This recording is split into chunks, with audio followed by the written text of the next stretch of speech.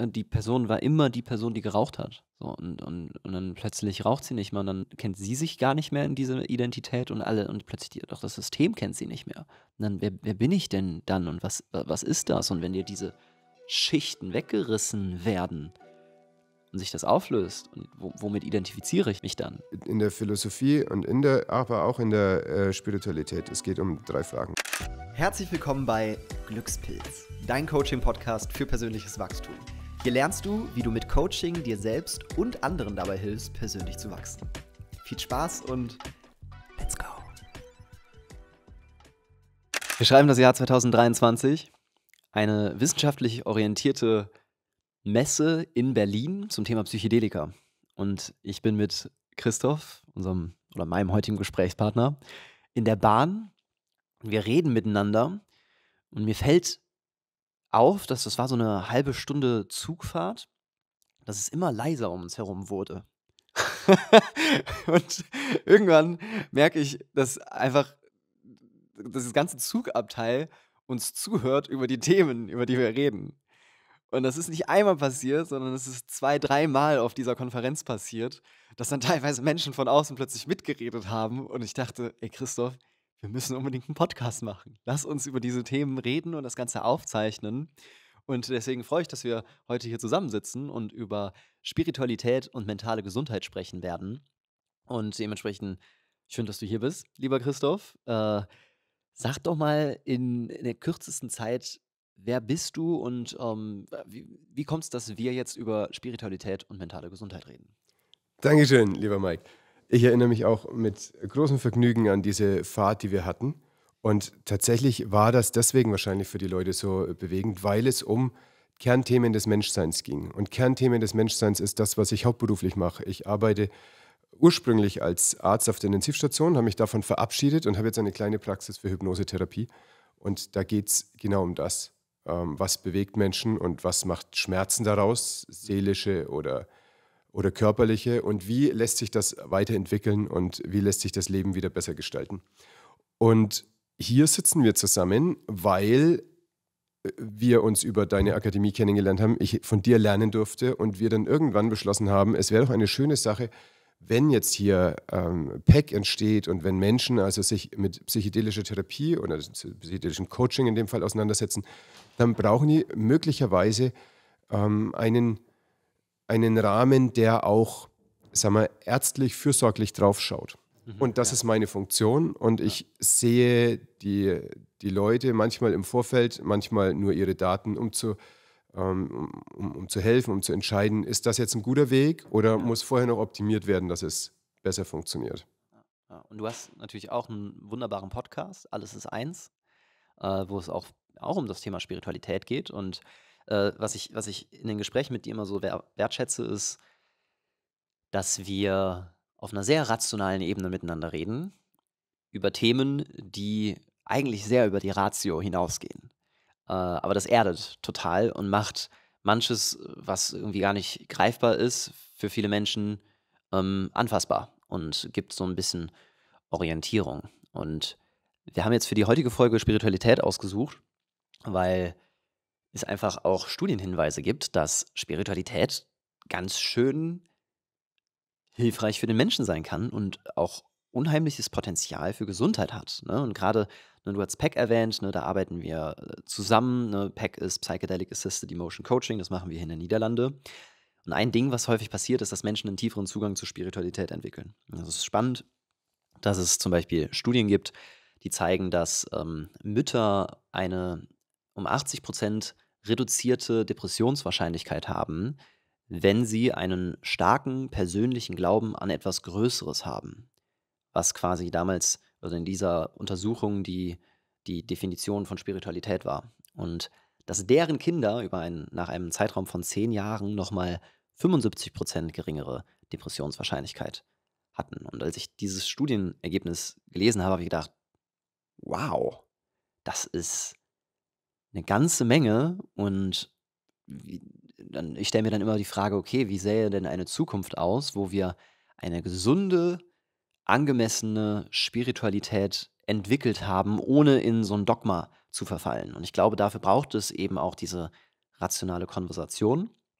Und ja, wir haben, wir haben uns so ein paar Zitate äh, zurechtgelegt, die wir zwischendurch rausziehen werden, wenn wir merken, wir brauchen ein bisschen Inspiration und, äh, und gucken mal, ob wir die, die Bahn, die Bahnatmosphäre äh, und unsere, äh, unsere Gespräche hier in diesem Podcast übertragen kriegen. Genau. Unbedingt, Dankeschön, dass du gleich eigentlich auf Mütter sprichst. Ich möchte auch noch mal was zu Kindern sagen. Und Ja. äh, ich habe kürzlich ein Interview geführt mit Jennifer Chesak und sie hat ein großartiges Buch, The Psilocybin Handbook for Women, geschrieben, wo es um die Frauenspezifika der Psilocybineinnahme geht. Aber sie schreibt da auch ein ganzes Kapitel über Conscious Parenting. Ja, Was bedeutet es denn, äh, das bewusst in die Elternrolle reinzugehen? Und wie kann da Ja. möglicherweise zum Beispiel Psilocybin helfen? Ja. Weil es genau andockt und Eltern werden und Eltern sein, das ist eine Ja. ganz spirituelle Aufgabe. Ja. Da geht Ja. es um Generativität. Also was trage ich in eine Generation, die leben wird, wenn ich nicht mehr bin? Das ist eine ganz, ganz große Frage. ja, Ähm, Es bedeutet aber auch, welche Werte möchte ich in mir etablieren, welche Werte möchte ich weitergeben? Das sind Ja. wichtige Fragen. Und es gibt in der ähm, Kinderheilkunde oder Kinderpsychiatrie gibt es den Begriff der ACEs, das sind Adverse Childhood Experiences. Ja. Da gibt es ganz viele. Und wenn du ähm, mehr als vier hast, dann ist die Chance extrem hoch, dass deine Kinder auch mehr als vier haben werden. Und da gehört dazu äh, Eltern mit Rauschkrankheit also, oder Suchtkrankheit, Eltern im Knast, ähm, Eltern getrennt oder du hast Gewalt erfahren als Kind. Alles das sind ACEs.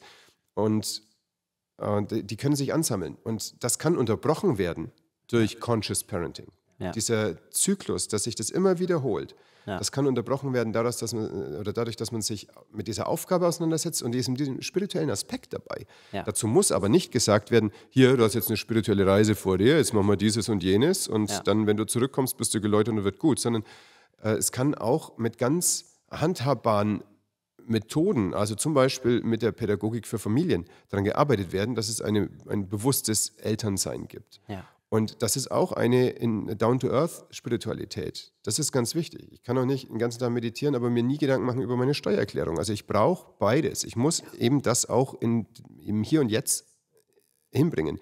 Und für manche reicht es völlig aus, im Hier und Jetzt was zu machen und dadurch ändert sich natürlich irgendwas spirituell. Das ist aber nicht wichtig.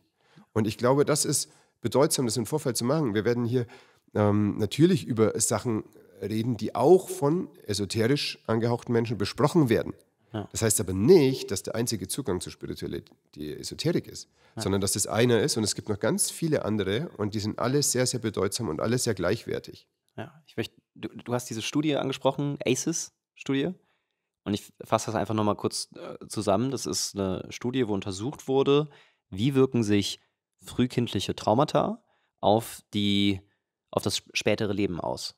Ja, und, Richtig, und ne? auf die Traumata, die deine eigenen Kinder erleben werden. Ja, genau. Und, und, und, und da wurde quasi nachgewiesen, dass eigentlich einer der größten blinden Flecken, die wir quasi haben, dass man sehen kann, okay, Kinder, die früh in einer frühen Zeit mehr, also vier oder mehr traumatische Erfahrungen gemacht haben, ähm, quasi emotionale Wunden in sich tragen, früh in ihrem Leben, dass sich das später auswirkt, dass die Depressionswahrscheinlichkeit, glaube ich, verdoppelt ist, dass äh, irgendwie Suchtmittelmissbrauch und so weiter dann erhöht ist die Wahrscheinlichkeit.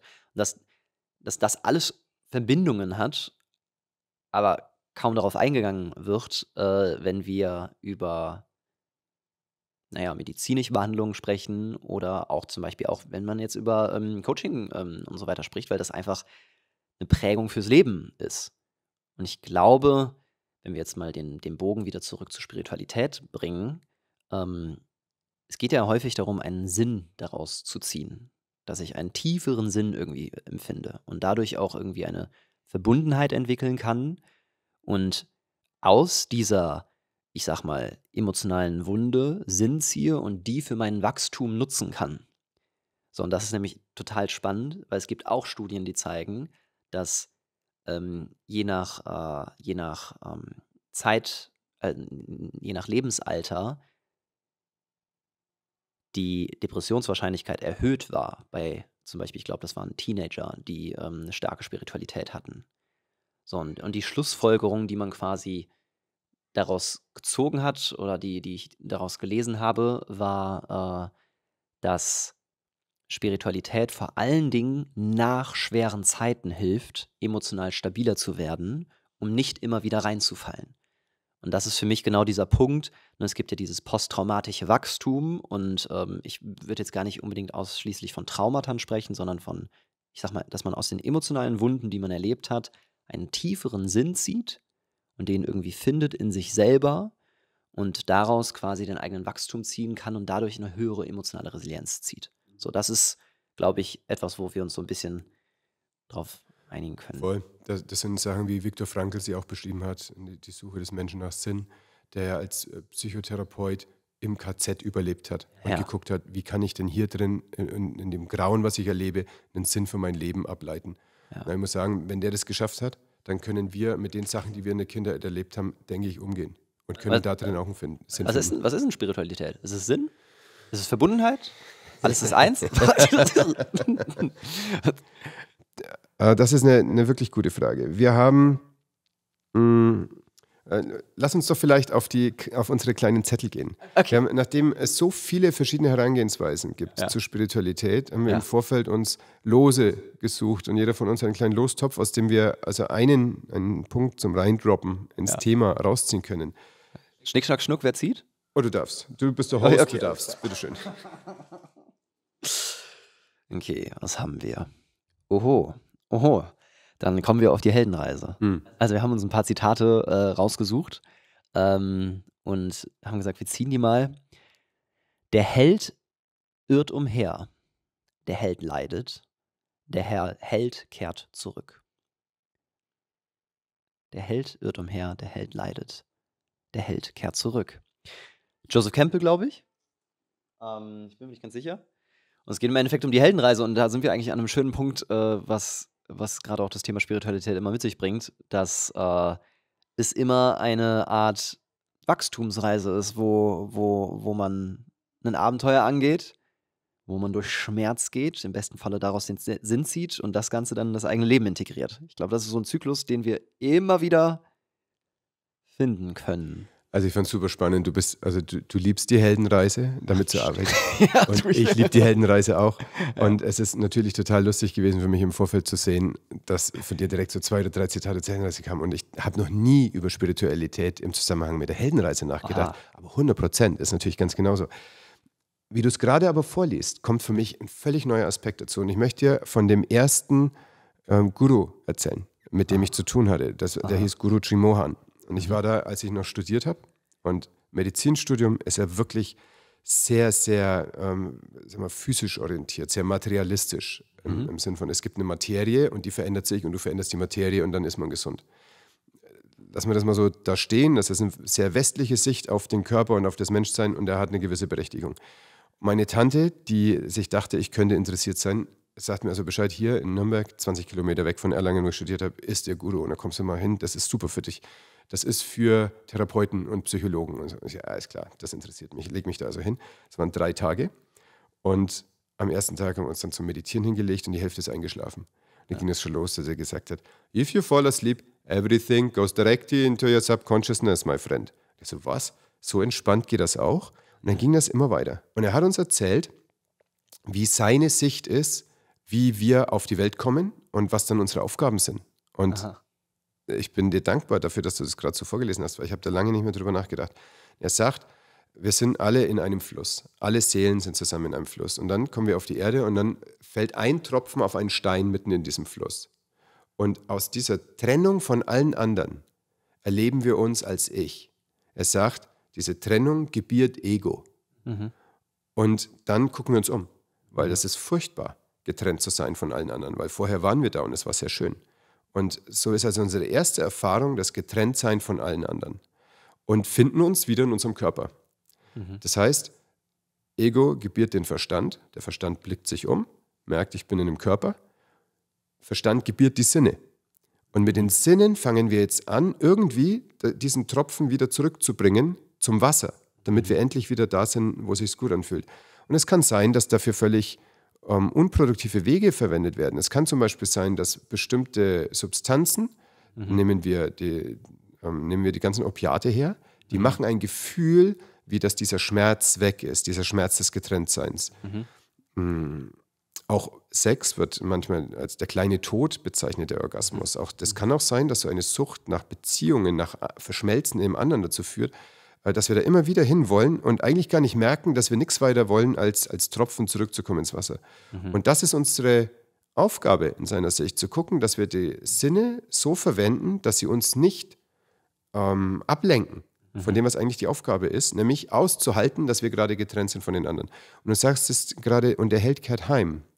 Mhm. Und Ramdas sagt, wir begleiten einander nach Hause. Mhm.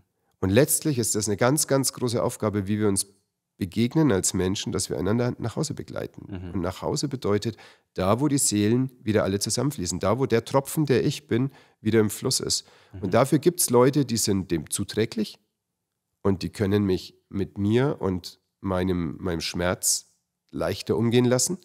Und es gibt Leute, die sind abträglich, die verstärken es unter Umständen, weil sie mir ähm, Wege anbieten, die gar nicht mich zu mir selber bringen.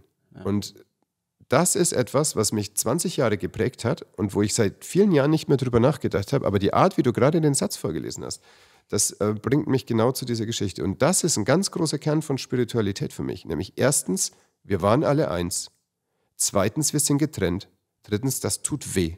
Mhm. Viertens, ab da versuchen wir den Schmerz zu reduzieren. Mhm. Und ganz viel von dem, was wir erleben, wo dann wenn man es ganz klinisch betrachtet, kann man es Trauma nennen, manches ist kein Trauma, manches ist ein Ace, also ja. egal, wie wir es jetzt definieren und manche Sachen sind dann cooler als andere, aber egal, alles bedeutet, dass wir einen Schmerz haben, weil darüber, darüber lernen wir die Welt kennen, primär ja. über den Schmerz und dann geht es darum, aus dieser Wunde eine Narbe zu machen. Ja. Und das ist dann unsere Aufgabe und das ist Heilung. Wenn eine Narbe da ist, kann ich immer noch sagen, vor 20 Jahren habe ich mich hier geschnitten. Aber es brennt nicht mehr, wenn Salz reinkommt, weil es jetzt eine Narbe ist. Und das ist die Aufgabe, die wir haben. Mit jedem Schmerz, der kommt, einfach immer zu gucken, ist das jetzt eine Wunde, die ich heilen lassen kann? Ja. Wen brauche ich dafür? Ja. Brauche ich mich vielleicht dafür? Brauche ich jemanden ja. anders, der mir hilft? Und das ist, denke ich, die ganz große spirituelle Aufgabe, die wir haben, mit dem, dass wir in einem Körper sind, der verletzt werden kann. Ja. Ich finde es ehrlich gesagt auch viel schöner, über, ähm, über Narben zu singen, als über Wunden. Hm. Ich finde es viel, viel, viel heilsamer, viel, viel, ich will nicht sagen authentischer, aber damit habe ich den Sinn irgendwie schon da drin und die Wunde ist nicht die ganze Zeit offen. So, Kern interessiert sich auch niemand für deine Wunden. Die ja. Leute interessieren sich dafür, wie hast du es geschafft, aus der Wunde eine Narbe zu machen. Ja. Das ist die Story. und das, das ist das, was der Held nach Hause bringt.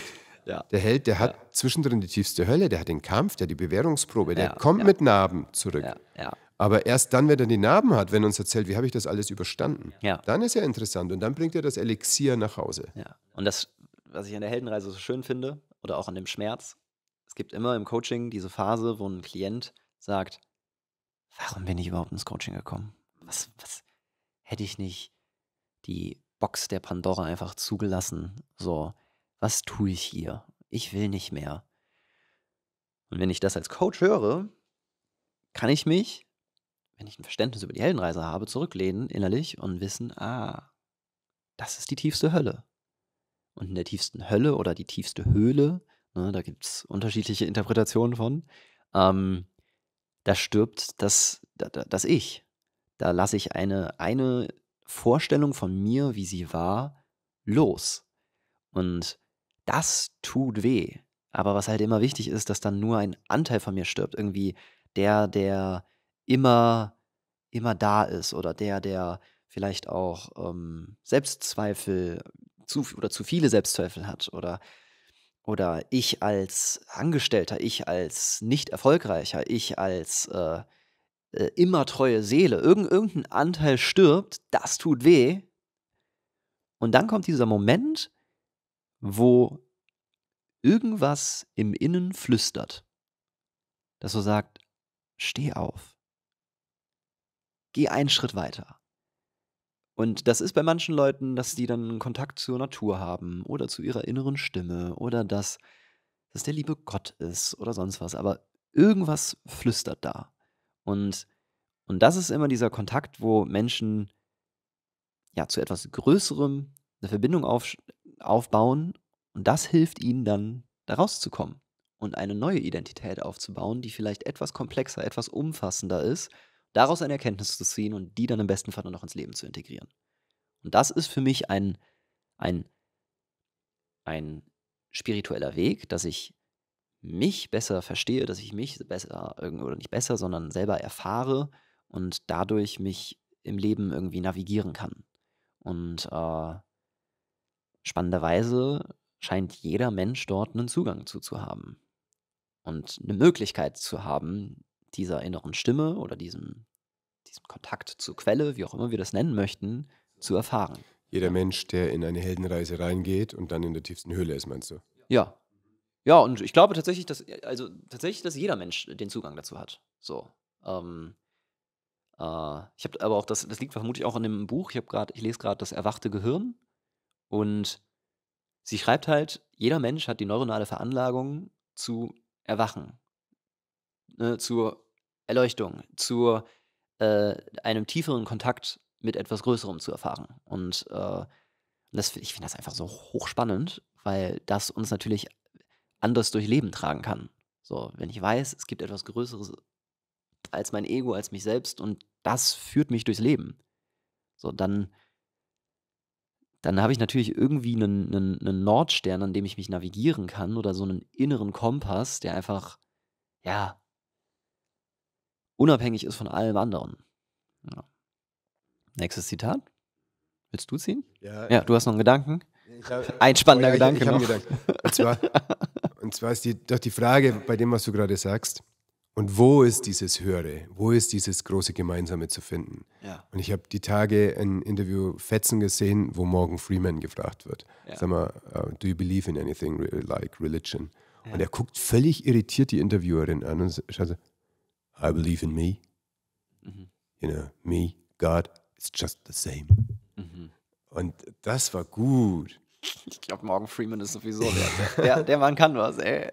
Das, der, der hat einige gute Gedanken. Ja, ja und das ist äh, sicherlich ein Punkt. Das ist ja in uns zu finden, dieses Größere. Ja. Das, ich komme da nachher noch drauf. Ich habe dafür den Zettel. Ich freue mich, wenn er rauskommt. ich habe dafür einen Zettel.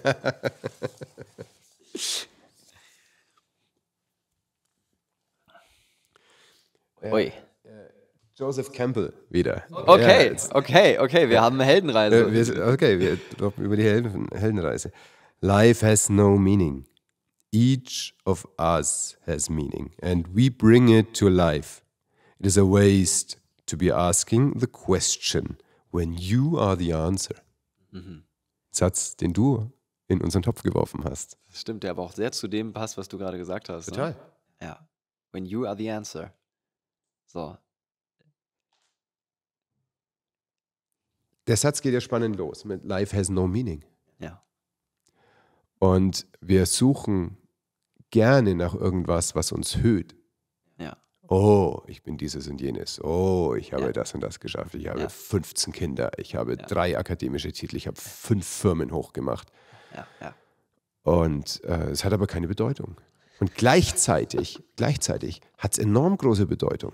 Ja. Das ist der gleiche Zustand. Wenn, wenn wir gucken, was wir für den Planeten bedeuten, ist es völlig irrelevant. Ob einer von acht Milliarden mehr oder weniger da ist, es hat keine Bedeutung. Und gleichzeitig hat es die größte Bedeutung, weil wir Teil sind von etwas, was groß ist, von einer Energie, die fließt, von etwas, was größer ist als wir. Und, äh, die, und die Gleichzeitigkeit von unserer Bedeutungslosigkeit und von unserer immensen Bedeutung zu verstehen, da kommt dann der Satz raus, eigentlich hat es keine Bedeutung. Und es ist so ein schönes Paradox. Äh, ist total? Ich erinnere, ich erinnere mich an eine äh, psychedelische Erfahrung, die ich gemacht habe, wo einfach diese, diese Aussage kam: Es ist alles scheißegal, Mike. Es ist alles scheißegal. Es ist, es ist alles egal, was er im Endeffekt so sagt, wie er ist. Macht alles, braucht alles gar keinen Sinn machen und so weiter. Und ich war so ein bisschen verstimmt danach. Ich so dachte, Mann. So. Und dann lag ich draußen äh, und es war ein Stern am Himmel und ich gucke mir diesen Stern an und ich denke, alles ist scheißegal. Und dann gucke ich diesen Stern so an und dann kam die Botschaft, aber das, was du machst, ist ganz wichtig. Ja. Du bist ganz wichtig genau da, wo du jetzt bist. Und beides hat sich komplett real und beides hat sich komplett richtig angefühlt. Und ich glaube, das eine schließt das andere auch nicht aus. Life has no meaning. So, du bist dein Sinn. So, den Weg, den du gehst, den ziehst du da raus.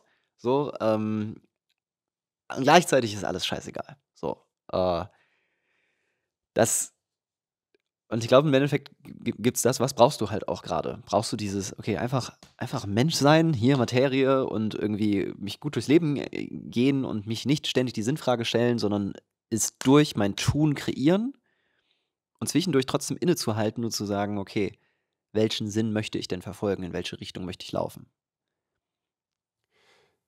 Wenn, um in diesem Bild von Mohan zu bleiben, wenn wir. Von wem? Mo? Dieser Guru, von dem ich vorhin sprach, Ja, ja, Guruji Mohan. Wenn unser Verstand also die Sinne gebiert, dann nehmen wir die Welt in Dualitäten wahr. Hm. Außen, innen, hoch, tief, dick, dünn, Ja. dein, mein, Ja. nah, fern. Und deswegen ist unsere Weltsicht, in, in die wir hineinwachsen, es geht gar nicht anders, weil unsere Sinne uns das suggerieren, dass dem so sei. Unsere Weltsicht ist eine, die dual geprägt ist. Ja. Und damit gibt es nur entweder oder Räume.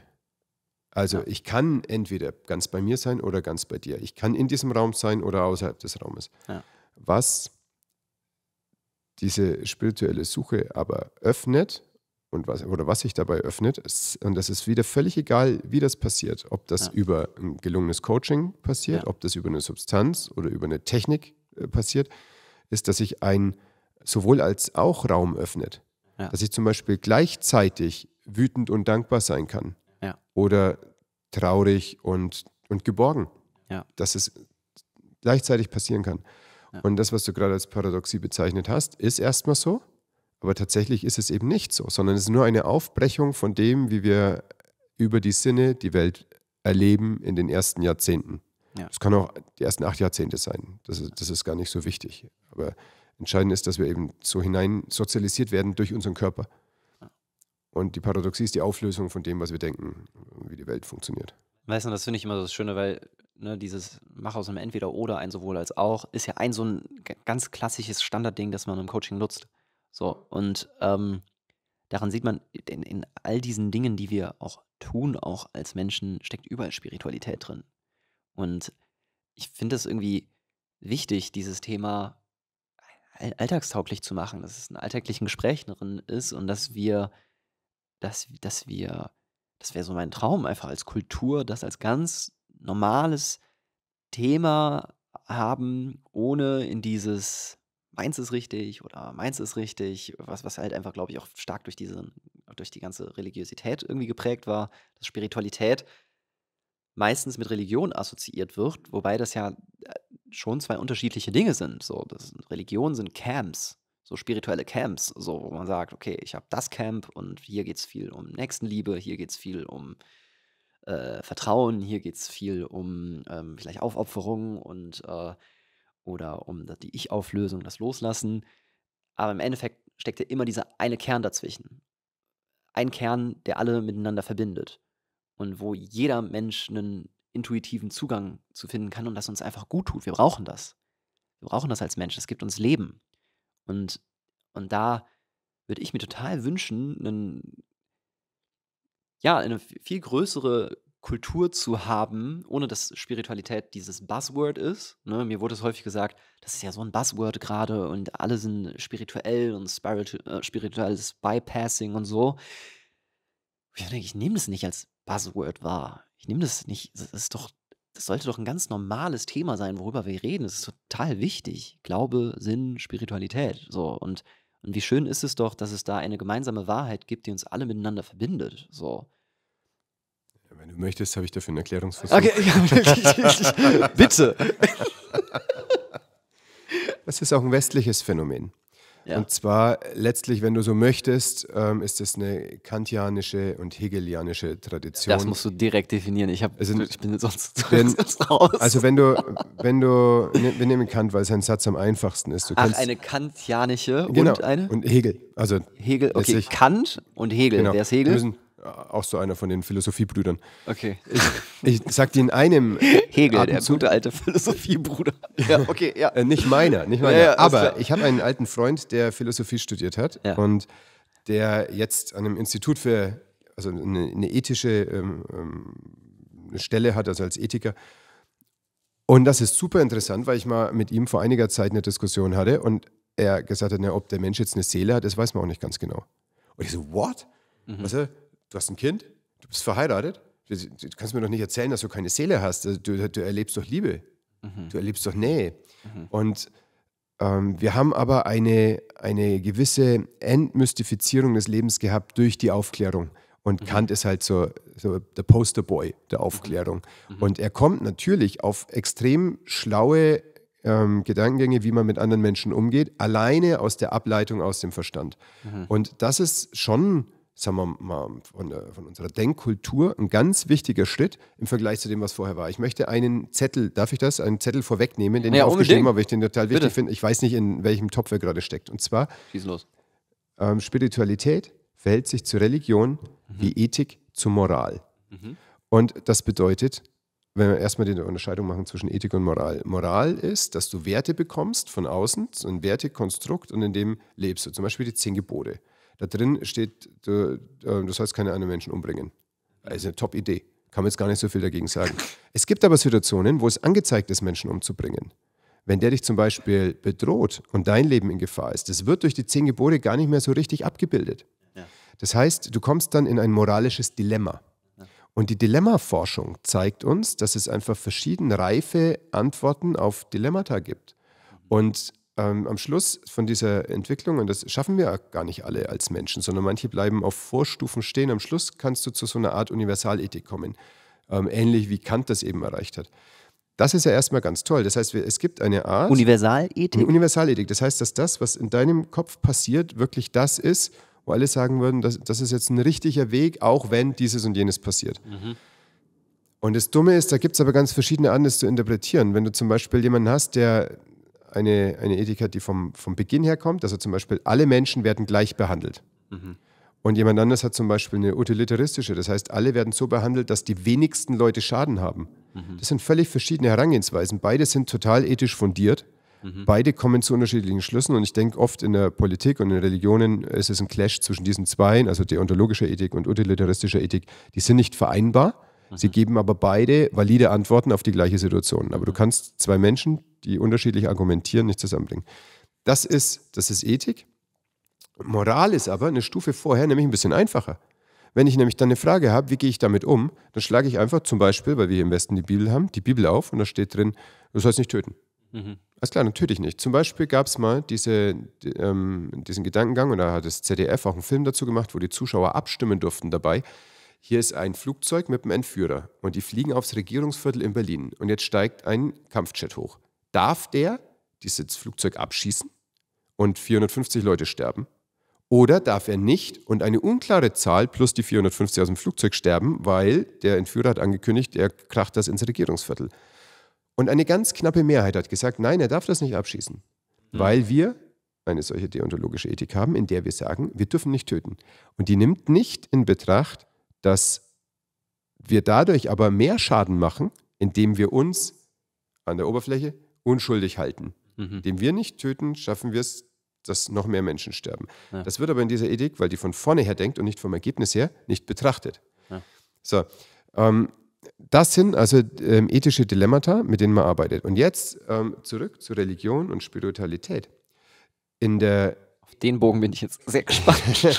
in der Religion hast du festgelegte Werte, nach denen du dich verhältst, und dann gibt es eine In-Group und eine Out-Group, und wenn du das dagegen verstößt, bist du Ja. raus. ja. Du kannst wahrscheinlich 98 Prozent von allen Entscheidungen in deinem Leben sehr gut mit Moral bzw. mit religiösen Vorgaben Ja. wirklich gut klären, hast wenig Aufwand und kannst deinem Tagwerk weiter nachgehen. Das wird aber aufgelöst, sobald du dich mit dir als spirituellem Wesen auseinandersetzt, weil damit das Es gibt keine Outgroup mehr. es gibt keine, es gibt auch keine In-Group, es gibt bloß noch dich halt. Ja. Und damit musst du was finden, was dich in Bezug setzt zur Welt. Und das Ja. ist Ethik, Ja. beziehungsweise das ist Spiritualität. Du Ja. verlässt die Sicherheit eine, eines vorgegebenen Wertekonstruktes. Mhm. Und diese initiale Destabilisierung, die du hast, wenn Ja. du anfängst, spirituell zu denken, die du hast, wenn du in eine Therapie gehst, hast du auch eine initiale Destabilisierung. Wenn du anfängst, mit psychedelischen Substanzen zu arbeiten, ist die gleiche wie die, wo du sagst, die moralischen Gefüge genügen mir nicht. Ich bin in einer Situation, wo ich ein Dilemma habe und ich muss jetzt zu was kommen, was ein anderer Gedankengang ist als alles, was ich bisher hatte. Ja, ja. Und, und das ist sehr, sehr anstrengend. Und das ist existenziell natürlich Und auch. das bedeutet nämlich auch, dass du dich loslässt von dem, wo du herkommst. Ja. Und das, das ist existenziell. Genauso ist es. Ja, ich hatte jetzt vor kurzem noch eine ähm, Begleitung hier bei PEC, wo auch eine Teilnehmerin gesagt hat, das, das bin ja nicht mehr ich. Das ist ja jetzt, das, so, ich habe, äh, die Person war immer die Person, die geraucht hat. So, und, und, und dann plötzlich raucht sie nicht mehr und dann wird, dann kennt, kennt, kennt sie sich gar nicht mehr in diese Identität und alle, und plötzlich doch das System kennt sie nicht mehr. Und dann, wer, wer bin ich denn dann und was, was ist das? Und wenn dir diese Schichten weggerissen werden und sich das auflöst, und wo, womit identifiziere ich dann mich dann? Und dann wird es halt auch spannend, mit welchen, und das, ich probiere so ein bisschen den Bogen zu schlagen zu dem, was du gesagt hast, dann ist dann natürlich dann auch die spannende Frage, mit welchen Werten, mit welcher Moral möchte ich mich denn auseinandersetzen? Womit möchte ich mein Ego, womit Oh ja. möchte ich mein Leben quasi füllen? An was reibe ich mich? Ja, Was lasse ich hinter mir? ja, Genau. Letztlich, die, wenn du in der Philosophie und in der, aber auch in der äh, Spiritualität, es geht um drei Fragen. Woher komme ich? Wohin gehe ich? Und was kostet es? Und das ist ganz, ganz wichtig, diese drei Fragen für sich Ja. zu klären. Dieses, wohin gehe ich? Da kann was ganz Nihilistisches draus werden. So ist es doch eh egal. ja, Ja, wir verschwinden, wir werden von Würmern zerfressen. Ja. Das finde ich, nimmt die, die, der Bedeutung des Menschen und des Mhm. individuellen Seins ganz viel Ja. weg. Das halte ich für einen seltsamen Weg. Tatsächlich Ja. gibt es philosophische Denkrichtungen, die das bis zum Ende so durchdeklinieren. Ja. Dann ist aber auch Bums. Ja? Dann muss ich auch nicht mehr morgens um sieben aufstehen zum Arbeiten, beispielsweise. Ja. Dann muss ich auch keine Kinder mehr in die Welt senden, weil eh alles egal ist. Aber auch die Frage, woher komme ich denn? Bin ich ein ähm, geliebtes Geschöpf Gottes und er hat die Welt erschaffen, damit ich sie mir untertan machen kann? Das bedeutet ganz viel für meine Art und Weise, wie ich ein Unternehmen führe, Mhm. wie ich mit meiner Familie umgehe, wie ich mit meinem Gatten umgehe. Oder aber bin ich entstanden als irgendein zauberhaftes Element von einem ganz großen Kosmos, der sich entwickelt hat. Mhm. Und darf ich dankbar und bescheiden meinen Teil beitragen und Mhm. nicht zu viel kaputt machen dabei. Das Schöne ist, das lässt sich auch verändern. Das also lässt wo, sich verändern. Wo, woher komme ich? Ich kann das innere Bild meiner Vergangenheit kann ich definitiv verändern. das kann ich. Auch So, das, was kostet kann ich machen. Ja. Aber, und ich glaube, also, wenn wir dieses haben, ich, breche das mal ganz wieder runter, Plane of ähm, Coaching jetzt. Äh, okay, was ist meine Ausgangssituation, was ist meine Wunschsituation und wie komme ich dorthin und was kostet das? Und das ist, glaube ich, auch dieser Part, der manchmal vergessen wird, wenn es um das Thema Manifestation geht oder wenn es um Visualisierung geht oder sowas. Welchen Preis muss ich zahlen, um dorthin zu kommen? So. Und das kann, das kann ganz schön heftig sein. Deswegen gibt es, ich weiß, ich weiß, hat Tim Ferriss das gesagt, be careful what you wish for. So, ne, weil wenn du dir bestimmte Dinge wünschst, dann wird das Universum dir Wege zeigen, aber bist du bereit, den Preis dafür zu zahlen? Mhm. Und ich habe einmal ein letzter Punkt noch. Ich habe das, ich habe es auch erlebt bei psychedelischen Erfahrungen, wenn Menschen mit einer Intention reingehen wie gib's mir, dann gibt das Psychedelikum und dann, dann knallt's richtig. Und da, das kann ganz schön Ego nicht nur auflösend sein, sondern Ego explosiv sein, also ego zerstörend. So, und da habe ich heftige psychedelische Erfahrungen erlebt, wo Leute wirklich durch übelsten Schmerz durchgegangen sind. Ähm, dementsprechend, be careful what you wish for. So, und immer diese Frage, bist du, und das nicht aus dem Kopf zu beantworten, sondern wirklich aus der Seele, bist du bereit, diesen Preis dafür zu zahlen und dieses Ziel zu erreichen, was du dir da wünschst? So, denn nur dann ergibt es Sinn, sich diesen Wunsch zu geben. So. Einer von den ganz alten Philosophiebrüdern, und ich Ja. meine, es war Sokrates, hat gesagt, bevor du jemanden heilst, frage ihn, ob er bereit ist, das aufzugeben, was ihn ja, krank gemacht ja, hat. das ist einer der schönsten Sätze, die es Oh, gibt. Ne? total wichtig. Zettel? Absolut. Oder relativ. Interaktion Körper, Geist und Seele. Mentale Symptome als Ausdruck einer spirituellen Krise. Ja, Dankeschön, das ist ein Zettel von mir. Wusste ich nur nicht mit dem Mikrofon hier so ein bisschen. Die, Ne, dass du, wenn, manchmal bist du hier. Oh du Bescheid ich weißt. setz mich ja, besser. An der Seite, genau, dann ist Ja. glaube ich gut. Ja. Interaktion Körper, Geist, Seele, mentale Symptome als Ausdruck einer spirituellen Krise. Ja. Zettel von dir. und das rührt an einem Gedankengang, den ich ganz, ganz lange nicht verstanden hatte. Und zwar dachte ich, wenn es um Spiritualität, äh, Spiritualität geht, dass wir Menschen halt einen spirituellen Anteil haben. Mhm. Und dann kamen verschiedene Einflüsse und äh, ein ganz wichtiger davon war ein Anatomieprof, den ich hatte in Erlangen, der Mhm. noch bei Steiner in der Vorlesung saß und Ach, einen unglaublich, unglaublichen Zugang hat zu verschiedenen Sachen. Und der hat immer die Anfängervorlesung oder die, die Ein Einstiegsvorlesung. Das erste, was die Medizinstudenten gehört haben, außer hier ist die Mensa und hier könnt ihr eure Fahrradschlösser äh, festmachen, eure Fahrrad mit dem Schloss festmachen. Und da hat er immer diese Einstiegsvorlesung gemacht. Die habe ich mir acht oder neunmal angehört. Ich habe jedes Mal was Neues rausgezogen. Und das, was ich gelernt habe von Rohn, ist, dass wir Körper, Geist und Seele haben. Er sagt also, der Körper ist das, was du anfassen kannst. Klar, der Mhm. Geist ist das Informationssystem, was dabei ist. Die Seele ist er hat eine elegantere Formulierung gehabt, aber das ist der Rhythmus in unserem rhythmischen Transport- und Verteilungssystem. Er Mhm. sagt, die Seele ist das Wollen. Mhm. Zum Beispiel deine, deine, dein Longing vor, dein Hin, hingezogen werden zu einem Mhm. anderen Menschen, das kann die Seele sein, aber auch, dass du Hunger hast, dass, Mhm. du, dass du deine Bedürfnisse befriedigen willst. Also all das, was aus diesem rhythmischen Transport- und Verteilungssystem, und das ist Herz, Lunge, Darm, wenn man so möchte, Mhm. was da rauskommt, das ist für ihn die Seele. Und, Gehirn nicht. nein, Aha. Überhaupt gar nicht. Überhaupt. Für ihn hat die Seele mit dem Gehirn gar nichts zu tun, Aha, interessant. sondern das Gehirn ist nur dazu da, einfach eine Informationsleitung zu machen. Ja. Das heißt nicht, dass die damit nichts zu, also dass das Gehirn oder das Nervensystem nichts damit zu tun hat, weil irgendwie Ja. muss ja die Information vom Bauch auch raufkommen und da muss ja so ein Muss gewisses der Geist halt irgendwas machen. Genau, und der Geist muss dann den Kühlschrank aufmachen oder sowas halt. Ja? Und die Hand muss dann dahin gehen. Also das ist das, wie es zusammenhängt.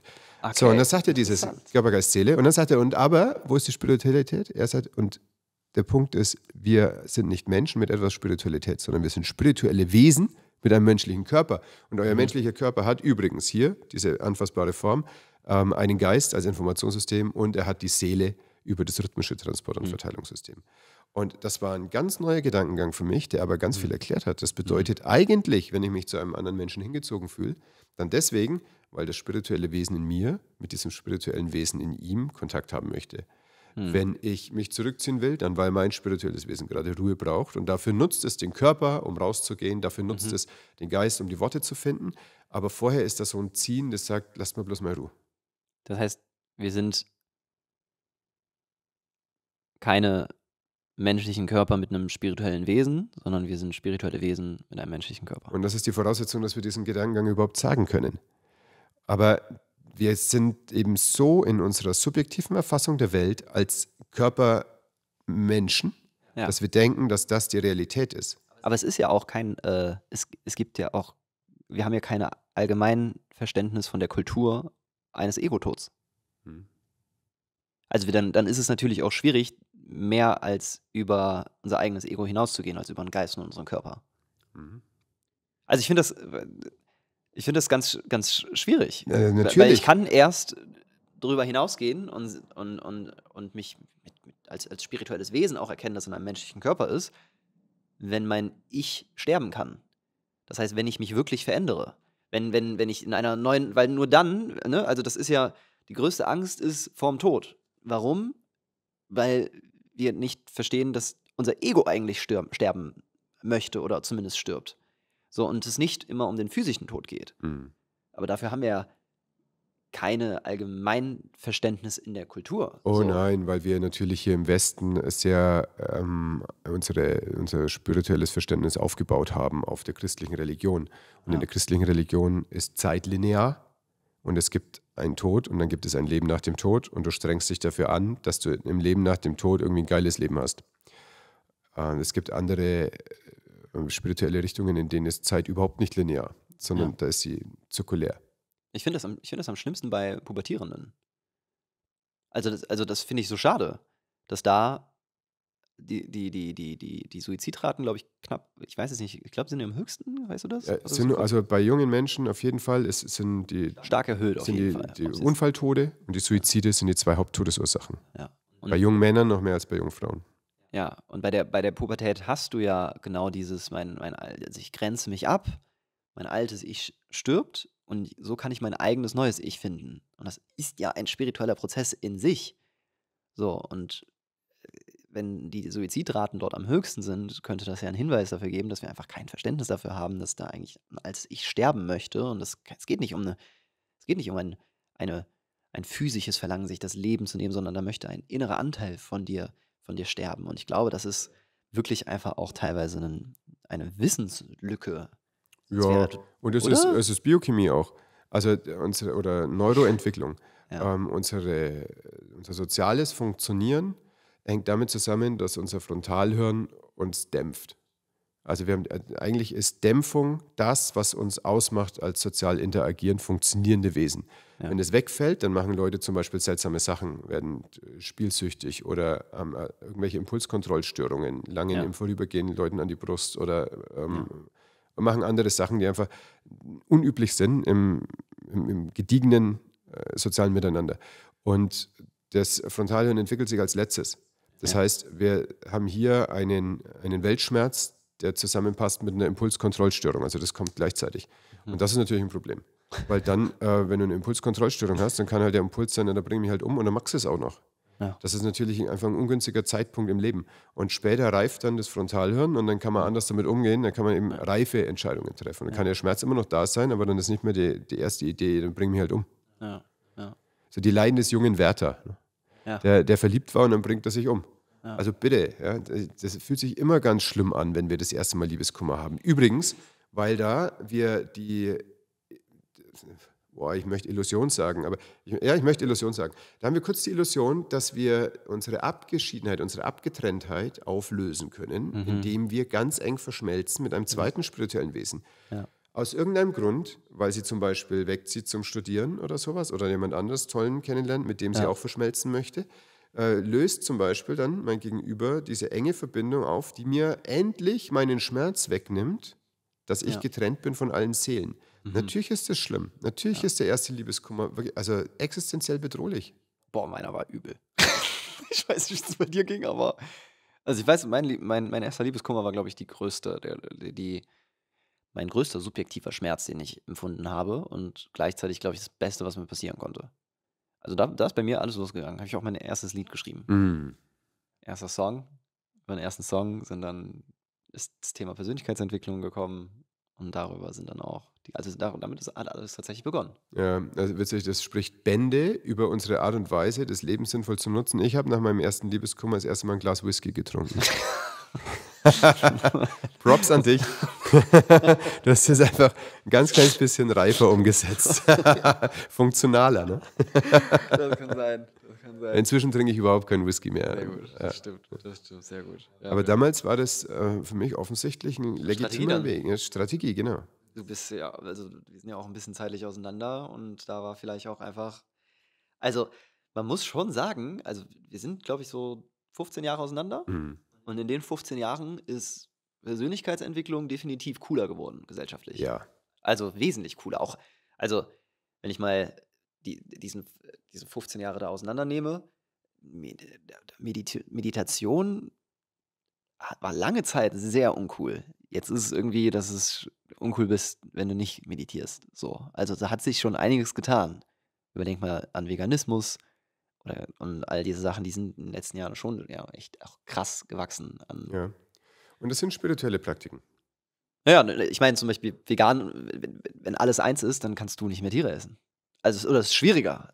Oder du gehst auf jeden Fall ganz anders dran, weil wenn, wenn du dich auf Augenhöhe mit diesem Lebewesen siehst, dann und du denkst, ich bin du, du bist ich, das sind ja, ne, wir sind alle miteinander verbunden, dann kann ich dich schwierig essen. So, das ist Ja, äh, dann möchte ich nochmal, um von das, was ich vorhin so weit ausgeführt habe, nochmal zusammenbringen auf wirklich einen Punkt. Wenn deine Philosophie ist, ihr seid die Krone der Schöpfung, macht euch die Erde untertan, Ja. dann ist völlig bumsegal, wie ich mit Tieren umgehe. ja, Dann dienen die mir. ja, Und deswegen sehen wir gerade, was wir sehen, Ja. wie Tiere produziert werden. ja, Und wenn du aber dann diesen Schritt weitergehst und guckst, ich bin ja Teil davon. Ja. Wenn ich was töte, dann passiert ja auch was in mir. ja, Wenn ich mich nähere mit irgendwas, dann nehme ich die Energie auf. Ja. Das klingt vielleicht ein kleines bisschen durchgeballert, aber es gibt einen Unterschied, wie sich das anfühlt, Fastfood zu essen zum Beispiel, was das mit dir energetisch macht, und äh, Rohkostobst. ja. Da passiert was anderes. Ja. Und es sind halt gleichzeitig das sind komplett unterschiedliche Werteebenen, ne? Ja. Weil ich bin immer, immer sehr, sehr, sehr vorsichtig mit, das eine ist besser als das andere, So, also das, das passiert schnell. Ja, ich bin, ich, alles ist miteinander verbunden und deswegen ernähre ich mich jetzt so und, und ja, ich esse Fleisch und ich, ich sag halt, äh, ich bin das stärkere Lebewesen. Das ist immer für mich sehr schwierig zu sagen. Das eine ist irgendwie besser. die- Dieses eine Wertekonstrukt hat vielleicht ein höheres Bewusstsein. Also ich muss dafür ein paar Dinge, glaube ich, im Spiel des Lebens intensiver durchgespielt haben, um dorthin zu kommen. So, als, äh, ne, da gibt es ja auch unterschiedliche psychologische Konzepte, die diese Ebenen beschreiben, Graves Ebenenlehre oder sonst was. Aber ich sag, es ist nicht unbedingt das eine, ist nicht unbedingt besser als das andere, weil in dem Bewusstsein, wenn ich denke, ich bin der Stärkere und ist es in dem Moment richtig. So. Und ich kann ja, weil, weil ich weiß, ich habe ja auch genau, also ich kenne die Denke.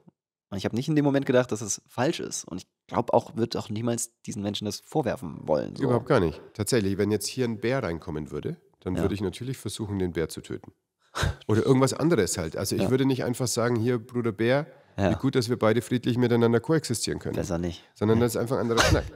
Ähm, Ja. da, es hängt immer mit dem Bewusstsein zusammen. Es Ja. gibt eine, also in, in manchen indianischen Stämmen habe ich es gelesen, gibt es die Tradition, sich bei dem Tier, was man gleich isst, zu bedanken. Danke, Ja. Schwester Forelle, dass Ja. du mich satt machst, dass du mich Ja. nährst. Ja. Das ist was ganz was anderes, als zu sagen, äh, drei Big Mac bitte und zwei Coke. Das ist einfach eine andere äh, Art, bewusst damit umzugehen, wie interagiere ich mit der Scheiß Welt. McDonalds. Nee, will ich gar nicht. Also irgendwas. Doch, jetzt habe ich. Big Mac gesagt. Ja, Das, das tut mir leid. Das, Ich sag gerne Scheiß McDonalds.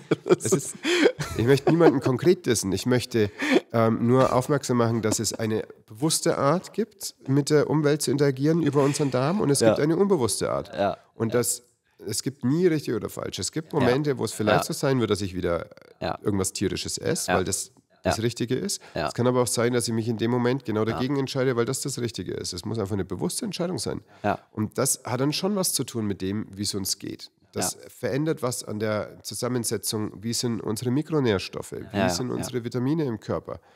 Da machen, da machen wir eine eigene Podcast-Folge zu. wir, genau. Das gehört aber dazu. Das ist alles eins. Alles ist eins.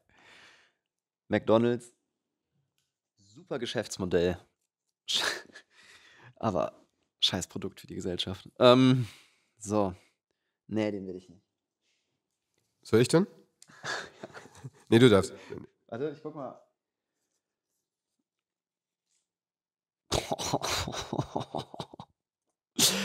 Es war schwer, den Kampf ums Überleben zu gewinnen. Aber es ist zehnmal härter, den Kampf um Sinnhaftigkeit zu gewinnen. Den finde ich echt interessant, ne?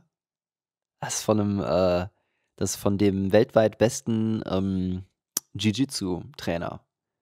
So, der, äh, ich glaube, Philosophie, ich glaube, ich weiß nicht, ob er einen Doktor in Philosophie hat, aber auf jeden Fall, äh, glaube ich, Philosophie studiert hat. Ähm, und du musst dir vorstellen, Jiu-Jitsu ist, ist halt ein, Jiu-Jitsu bringt dich auf sportlicher Ebene extrem mit deinem Ego in Kontakt. So, weil du, ne, bei Jiu-Jitsu ist das Ziel, den anderen, ich sag mal, zu, zu erwürgen oder irgendwie in eine Position zu bringen, dass du, ich weiß nicht, einen Arm brichst oder sonst was. Und äh, im besten Falle tappst du aber vorher. Und wenn du tappst, gibst du ja auf, ne, du surrenderst. Und wenn dein Ego zu stark ist, dann verletzt du dich halt recht schnell.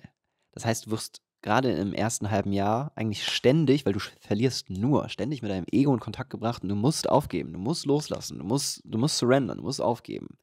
Und, äh, und das lehrt mir über den Körper sehr, sehr viel, um äh, mit meinem Ego in Kontakt zu sein. Und ähm, erdet einfach sehr.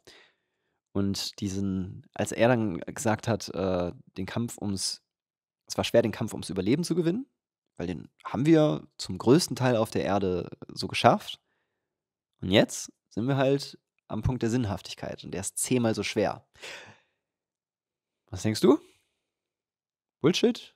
Ja? Nein? Also, äh, Ich, ich bin dir dankbar, dass du mir den Hintergrund gegeben hast, von wem der Satz kommt. Ja. Das sortiert es für mich ganz anders ein. Ja. Ich habe überhaupt null Kontakt mit Kampfsport gehabt in meinem Leben. Ich Ja. habe anderen Sport gemacht. Ähm, Also ich bin viel geschwommen. Ja. Und das, was wir damals gemacht haben, hieß Rettungssport. Das heißt, Ja. wir haben gelernt, wie kann ich Puppen vom Boden hochholen und so Zeug. mhm, Völlig andere Ausrichtung. mhm. Ähm, da, das ist eher eine Ego-Inflation, die Ja. dabei stattfindet. Da bist Ja. du nämlich der geile Typ. ja, Ja. ja, ja, Ähm, ja. Ist super interessant, welche Demut du aus, der, aus diesem Hereingehen Ja. in diesen Sport und aus, der, Ja. aus dieser regelmäßigen Praxis daraus ziehst. Naja, aber man, man muss man auch einfach mal schauen. Also der, ich meine, einerseits denken, se- sehe ich das immer wieder, die Menschen haben so ein Gefühl von, ach, wenn ich nach, keine Ahnung, wenn ich in Kriegsgebiete schaue oder wenn ich gucke, wie es in wirklich armen Ländern ist, wie gut geht es uns eigentlich? Das ist so ein kurzer Moment. Aber wie viele Menschen haben wirklich in dieser Welt, wo es und wo wir die Sicherheit gewonnen haben, trotzdem Einsamkeit, trotzdem irgendwie gefühlt mehr Stress, mehr Kummer, mehr und so weiter. Äh, und durch Sinn löst sich, glaube ich, das meiste davon auf. Wenn ich ein tief sinnerfülltes Leben führe und diesen Sinn auch fühle, löst sich viel Kummer, viel Schmerz, also wird, oder wird gut ertragbar. Aber wie viele Menschen haben das, also haben das gemeistert? Also ich finde es einfach spannend. Ich weiß auch nicht. Ich bin mir noch nicht ganz sicher, ob ich diesen Satz zunicken möchte oder denk, ob ich denke so, oh, weiß nicht, der Kampf um das Überleben war auch schon ganz schön schwer. so. Ja. Ah, wir leben tatsächlich in einer ganz netten Umgebung gerade. Wir haben hier recht wenig Krieg gehabt im letzten Jahrhundert. Ähm, wir, Danke, danke, danke. wir leben aber mit Menschen, die das erlebt haben. Ja. Ja. Und ein ganz großer Konflikt, den ich habe, ist mit Menschen aus meiner Familie liebevoll umzugehen, die aus einer ganz anderen Zeit kommen und Ja. die ganz andere basale Erfahrungen gemacht haben, die auch Eltern hatten, die aus einer noch anderen Zeit kamen. Ja. Das heißt, die eine ganz, ganz andere Art oder Summe oder eben Ausrichtung von Schmerz hatten, als ich das habe. Und ich dann denke so, hallo, wir leben im dritten Jahrtausend, da kann man sich jetzt schon mal irgendwie hinentwickeln, wir haben noch Zeit dafür. Nein, das ist nicht so, sondern die haben das, was quasi in dieser Inkarnation möglich Ja. ist, haben sie gespielt Ja. und jetzt ist okay, sich zu verschnaufen. Und ich glaube auch, ich glaube, unsere Aufgabe ist es eben auch, mit Schmerzen auseinanderzusetzen, die teilweise auch transgenerational sind, weil wir die Stabilität und die Sicherheit Ja. haben, Ja, eben dran zu gehen. ja ganz genau. Ganz Ich genau. erinnere, ich erinnere mich an eine psychedelische Erfahrung, äh, die ich gemacht habe, wo ich, äh, boah, das war so heftig. Ne, vielleicht ganz kurz für den Kontext. In, in einer psychedelischen Erfahrung ähm, fühlt es sich so an, als bist du das, auch wenn du vielleicht, ne, also das, es fühlt sich an, als ich bin diese Erfahrung in dem Moment, damit das Erleben auch möglichst intensiv ist. Und ich erinnere mich, wie ich Augen aufgemacht habe und plötzlich ein Soldat war. Und es hat sich sehr nach Weltkrieg angefühlt. So, ne? ne? Und man, wir, wir haben einfach transgenerational diesen Krieg in unseren Zellen noch drin. So. Und ich war, ich war, ähm, ich war quasi Soldat und ich hatte äh, überall Blut an den Händen und äh, es war diese innere Stimme, die gesagt hat, oh, du hast ganz viele Menschen umgebracht und du hast ähm, also ganz schreckliches Zeug gemacht. Und ich habe diese Bürde gespürt. Und dann war die Stimme, die gesagt hat, und jetzt vergib dir dafür. Und ich denke so, was? Wie, äh, wie soll ich das denn machen? Und, oh, und dann kam eine so große Trauer hoch. So, und ich habe gedacht, ah, kein Wunder, dass Menschen Angst vor Psychedelikern haben. Weil da durchzugehen hat alles, alles, was ich überhaupt brauchte, von mir abverlangt. So. Und natürlich, ein Psychedelikum gibt dir das, was du tragen kannst. Also ich war in dem Moment auch ready. Das haben andere Menschen, haben ganz andere Erfahrungen, gerade in den ersten Erfahrungen. So. Aber wo mir auch klar war, boah, was da teilweise für ein Stress in unserem System steckt und was das bedeutet, da durchzugehen, da braucht es schon sehr, sehr viel Sicherheit. Und ich habe dankenswerterweise extrem viel Sicherheit erlebt und habe das Gefühl, okay, deswegen ist es irgendwie auch mein, mein Job, damit aufzuräumen und ähm, dieses, dieses emotionale, transgenerationale Muster auch zu durchbrechen, einen Sinn daraus zu ziehen und zu gucken, okay, und wie können wir unser Leben, unsere, auch vielleicht auch unsere Gesellschaft ähm, so aufbauen, dass sowas nicht wieder passiert.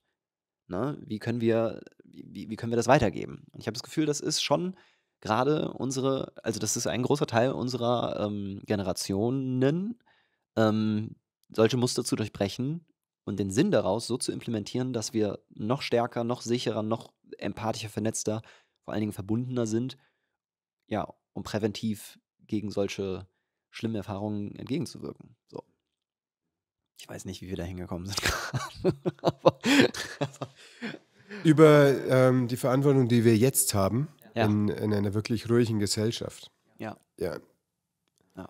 ja, ich stimme dir ohne Einschränkung zu und, ähm, und gleichzeitig ist es trotzdem nicht lustig.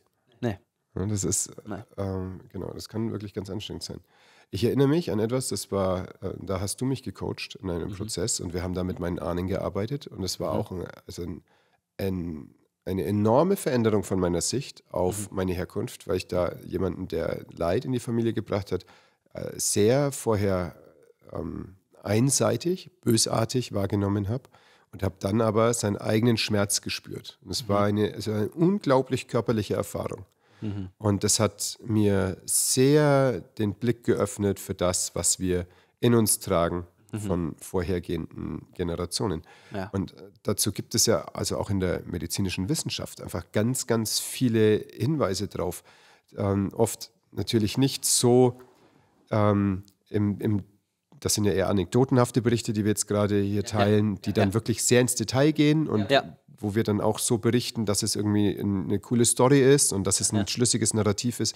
Das ist natürlich so ohne weiteres nicht möglich. Aber es gibt ganz greifbare Veränderungen im Stoffwechsel bei Ja. Kindern, deren Mütter während der Schwangerschaft auf der Flucht waren und Hunger hatten. Ach krass. Das ne? sind Kinder, die dann fettsüchtig und diabeteskrank werden, wenn Oder sie erwachsen sind. angelegt sind. Weil ja. sie dafür aus, äh, genau, also weil es Ja. die, die Epigenetik, die das beschreibt, äh, sagt ja, wenn wir so das, das Buch unserer DNA hätten und da steht alles drin, was, wir so, was unser Körper wissen muss, damit er irgendwie klarkommt, dann werden manche Seiten einfach gemarkert Ja. und immer wieder abgelesen. Ja. Und dann haben wir zwei Menschen, die haben genau den gleichen Datensatz beispielsweise und sie schauen aber völlig unterschiedlich aus und haben verschiedene Krankheiten. Warum?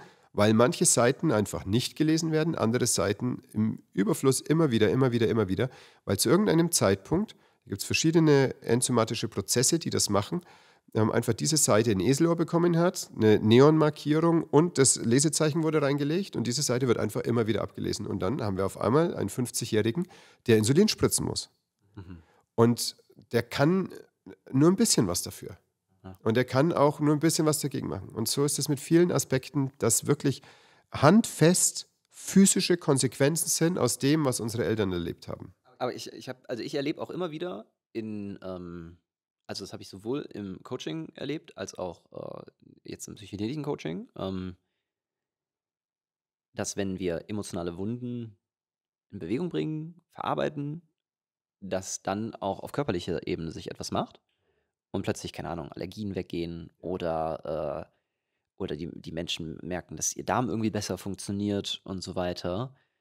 Das heißt, es hat ja nicht nur auf psychischer Ebene einen Einfluss, sondern das wirkt sich auch direkt auf, keine Ahnung, Stoffwechsel und ähnliches dann wahrscheinlich auch, auch aus. Und das ist ja faszinierend. Es ist interaktiv sogar.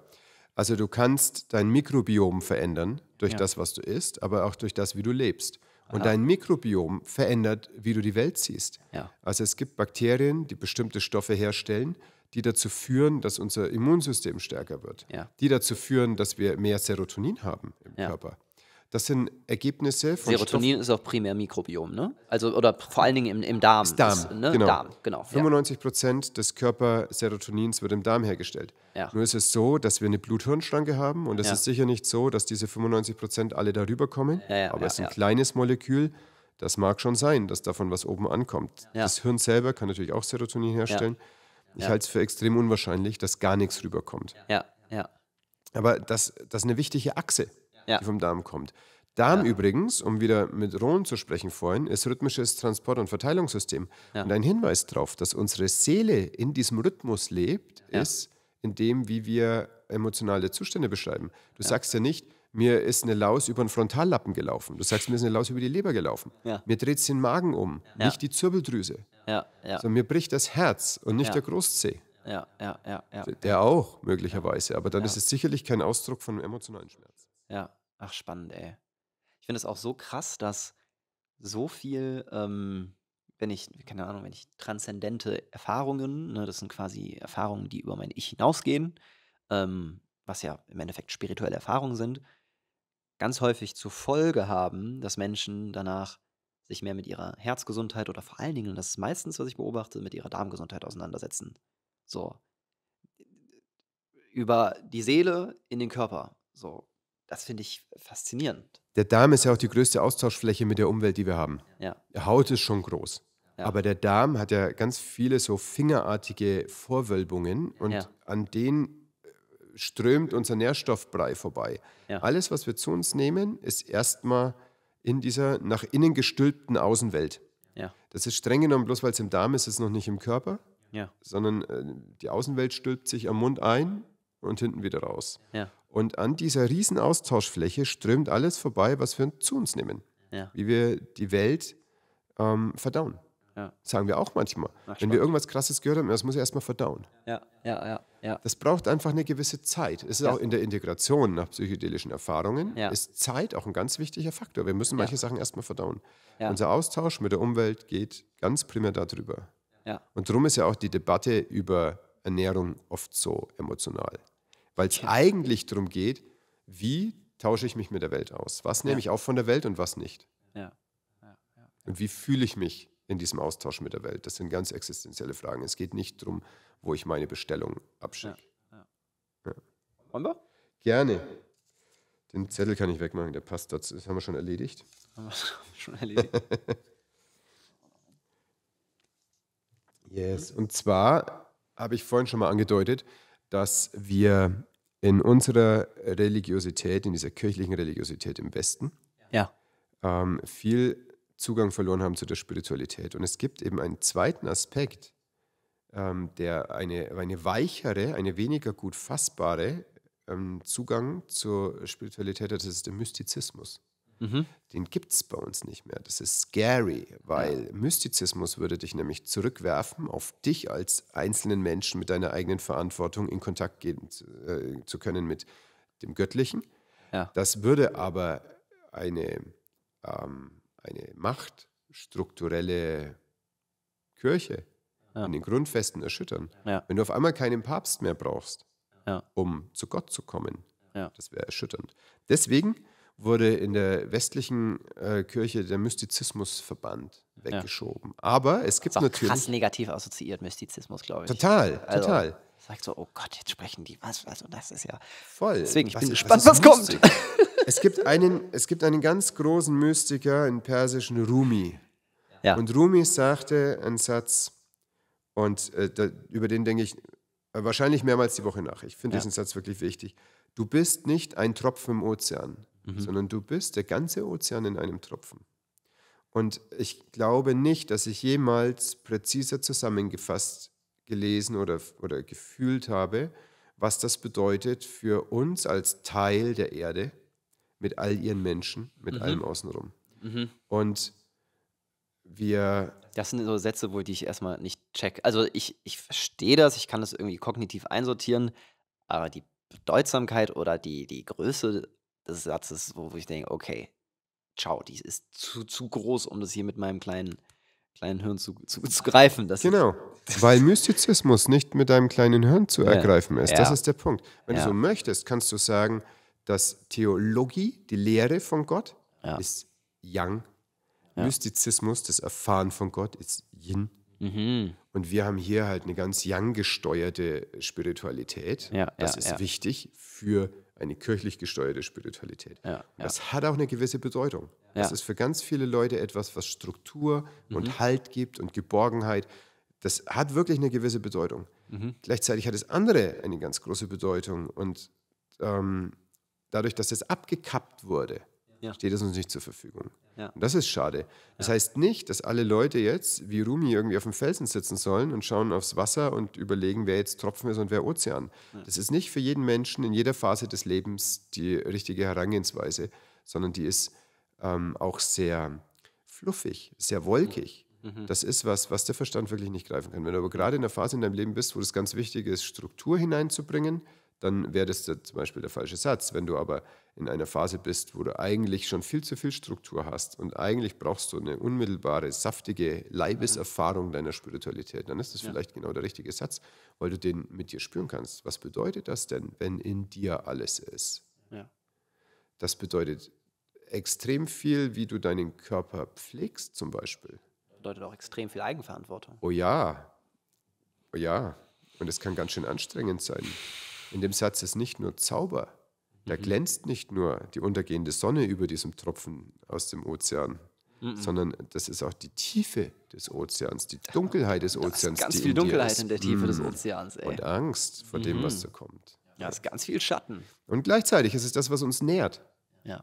Und das ist das, wo wir uns gut fühlen und da, Ja. wo wir Verbindung bekommen zu uns. Ja. Und funky shit, es geht nicht darum, jetzt an die Küste zu gehen und die Füße ins Wasser zu setzen und dann ist es gut, Ja. Sondern es ist schon da. Ja. Und diesen Bezug zu dir zu finden, bedeutet den Bezug zur Welt zu finden. Vielen Dank, dass du bis hierhin mitgehört hast. Der Teil mit Christoph über Spiritualität und mentale Gesundheit ist ein Zweiteiler. Hier ist jetzt vorab ein kleines Ende und ich freue mich sehr, wenn du diesen Kanal abonnierst und dadurch auch die zweite Folge mitkriegen wirst, weil die kommt nächste Woche raus und da haben wir noch einige spannende Themen, die dich erwarten. Vielen Dank und bis nächste Woche.